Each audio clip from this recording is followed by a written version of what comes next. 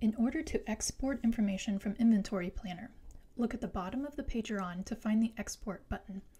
The information that will be exported corresponds to columns that are enabled in your report. In order to change the configuration or the information included, click on the gear icon in the upper right hand corner, choose the metric to include, rearrange it so that it's in the order that you need it to be, and you're ready to export. Click the button at the bottom, select the format to export, and this will download to your computer.